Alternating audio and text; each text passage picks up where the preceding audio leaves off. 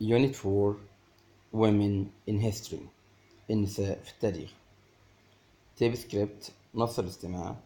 Narrator الراوي. دكتور عيشة عبد الرحمن who is known as بنت الشاطئ.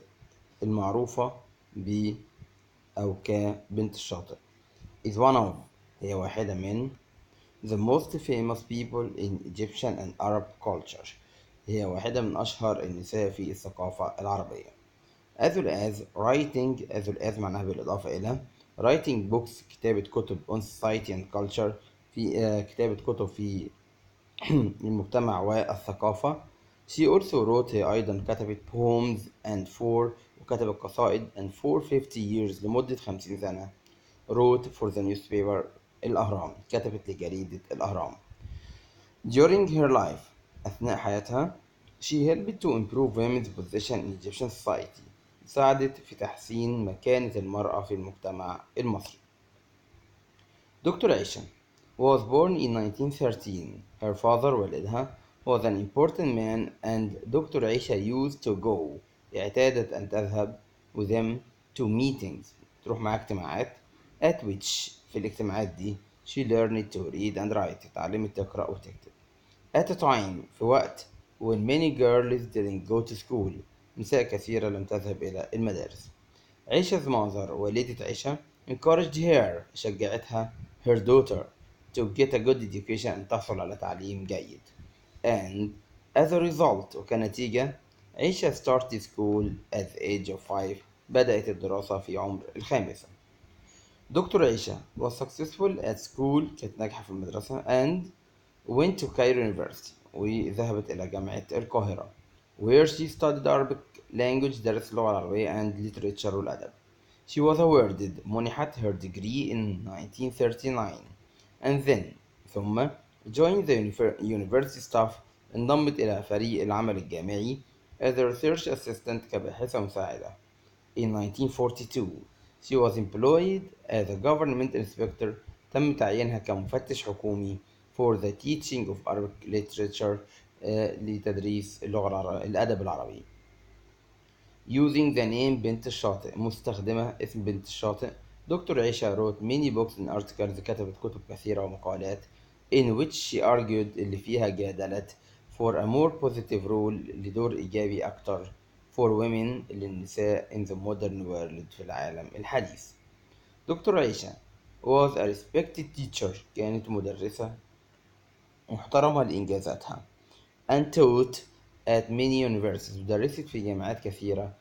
Across the Arab world في العالم العربي with her husband مع زوجها بروفيسور أمين الخولي دكتور عيشة spent holidays قضت أجازات visiting European museums المتاحف الأوروبية universities and libraries والجامعات والمكتبات دكتور عيشة died in 1998 at the age of 85 في عمر الخامسة والثمانين her work عملها which had taken up much of her time her personal life اللي أخذ جزء كبير أو شغل جزء كبير من حياتها الشخصية. Is still appreciated today.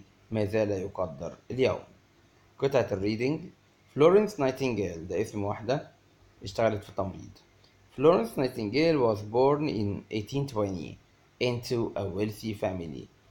ولدت لأسرة ثرية in Italy but grew up لكنها نمت وكبرت and went to school in England في إنجلترا.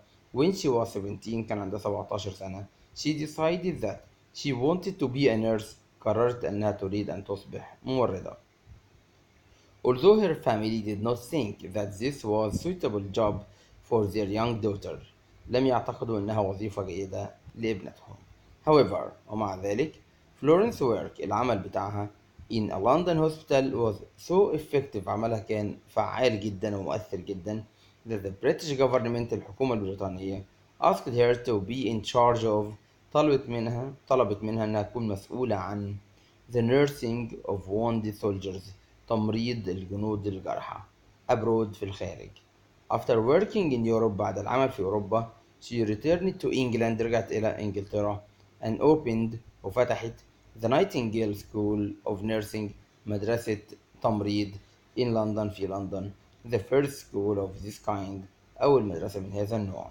الشخصية اللي بعدها لطفية النادي. In 1932 لطفية النادي was the first and only woman الأولى والوحيدة. المرأة الأولى والوحيدة to join a new school for pilots تنضم لمدرسة جديدة للطيارين. At Almaza Airport في مطار ألماظة Her parents والديها did not want her to be a pilot لم يريدوا أنها تصبح طائرة أو طي... تعمل كطيارة so النادي worked as secretary اشتغل كسكرتيرة the airport في المطار to pay for her lessons عشان تدفع ثمن دروسها when she was only 26 لما تمت 26 سنة النادي became the first woman أصبحت أول امرأة in Egypt to have a pilot's license تحصل على رخصة طيار In December 1933 she became famous أصبحت مشهورة when she flew solo عندما طارت طيران منفرد in an international race في سباق دولي which went from Cairo to Alexandria اللي ذهب من القاهرة إلى الإسكندرية She was only the second woman ever to fly like this كانت تاني امرأة على الإطلاق أن تطير مثل هذا who had to stop flying اللي توقفت عن الطيران after an accident بعد حادثة died in 22 في سنة 2002 aged بالغة من العمر 94 however ومع ذلك her achievements إنجازاتها encouraged other women شجعت نساء أخرى to have a career أن يكون لديهم حياة مهنية in flying في الطيران for example in 1944 ليندا مسعود became the first woman أصبحت أول امرأة teacher أول مدرسة امرأة at the flying school في مدرسة الطيران and عزيزة محرم later فيما بعد became a director there أصبحت هي المديرة هناك. الكلمات اللي هي تعريفات argue for يجادل من أجل أو مؤيدا ليه award يمنح جائزة. Appreciate يقدر. Government حكومة. Respected محترم لإنجازاته. Role دور. Positive دور إيجابي. عفوا إيجابي. Be in charge of مسؤول عن suitable مناسب. License رخصة nursing تمريض solo منفرد career حياة مهنية impressive فعال ومبهر. director مدير ركز إنك لازم تقرأ التعريف. عفوا مقرأتوش get لها كذا معنى. get نشوف معناها من خلال الجملة. عيشة mother encouraged her daughter to get a good education. والدتها ساعدتها أن تحصل على تعليم جيد. يبقى get هنا بمعنى تملك. I got an email from my friend this morning أنا استلمت إيميل من صديقي هذا الصباح يبقى هنا get معناها receive We got a new TV from the shops ها إحنا جبنا تلفزيون من المحلات يبقى اشترينا يبقى got هنا معناها bought How are you getting home this evening هتروح إزاي النهاردة يبقى getting هنا معناها arriving يصل It's getting very hot outside الجو يصبح حار يبقى get هنا معناها become الكلمات community across the Arab world society personal life cleanliness personnel hygiene appreciate medicines suitable staff effective staff wounded soldiers leaflet abroad brochure a pilot's license the Arab culture solo position international race good education achievements well educated encourage degree encouraging successful career Arabic language director literature officially was awarded her degree value join govern the university staff government research assistant purpose employee permission employment impressive unemployment manage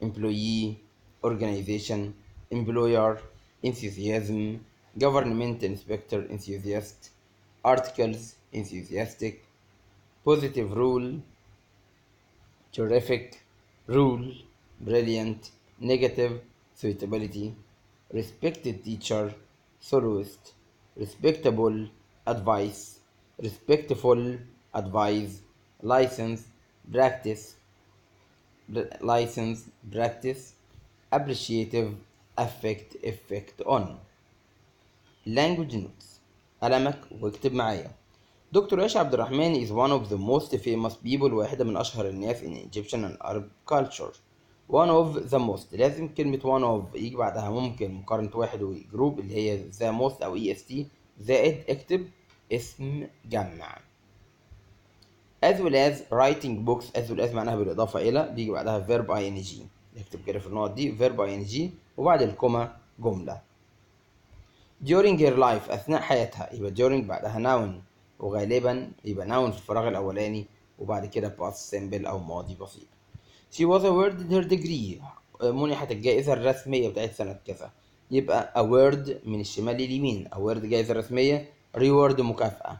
واكتب جنبيهم ان و في يعني تمشي نون وتمشي فيرب يعني ينفع جايزة أو يدي جايزة ينفع مكافأة أو يعطي مكافأة. She joined the university staff as a research assistant انضمت لفريق العمل الجامعي كباحثة مساعدة. Join اكتب. ينضم لي. Enjoy يستمتع بيه اكتب. Admire يعجب بيه الكلمات السابقة لا يأتي بعدها with ولا حرف جر.